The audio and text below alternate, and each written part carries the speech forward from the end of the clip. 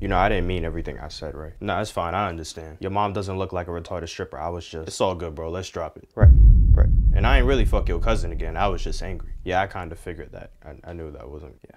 So, I, was just, thinking, oh.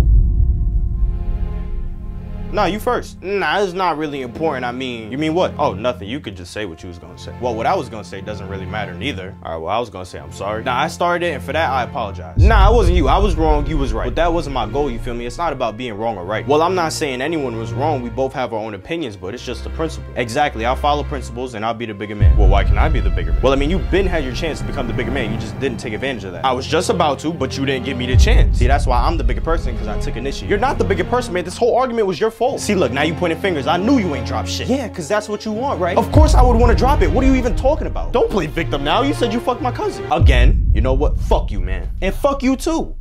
Look, I'm sorry, man. I ain't mean it.